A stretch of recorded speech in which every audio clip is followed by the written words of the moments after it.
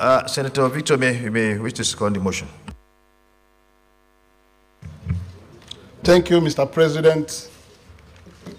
Distinguished colleagues, my name is uh, Senator Victor Umeh, OFR. I represent the good people of Anambra Central Senatorial District.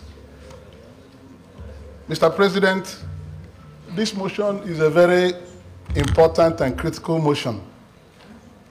The menace of erosion in the southeast region generally is very horrendous.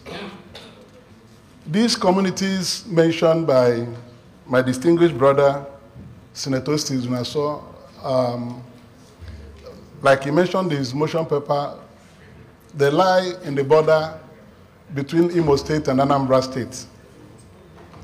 Right now, so many buildings are collapsing in the different erosion sites in the southeast geopolitical zone, particularly along this uh, belt.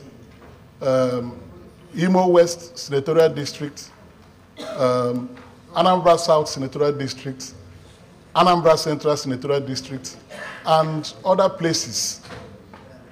The havoc which landslide and uh, flood erosion are wreaking to the communities involved are quite enormous.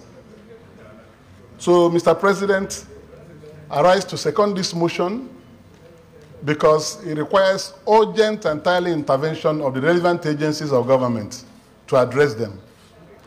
As I speak here, Mr. President, there is a section in Anambra State around Oba in the Idemili South local government where the erosion is already cutting the federal highway into two near the Rojenny tourist game village.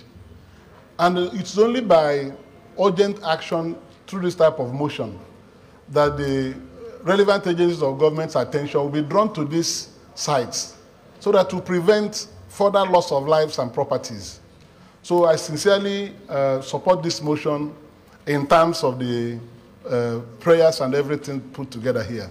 And I urge our colleagues to bear this in mind that erosion is a very huge problem in our geopolitical zone. And we seek your support and intervention through this motion. Maybe further, um, as we go on, we may be able to bring other specific uh, terrible threatening sites to the attention of the Senate. So I support this uh, with all uh, amount of seriousness. Thank you very much, Mr. President. Uh,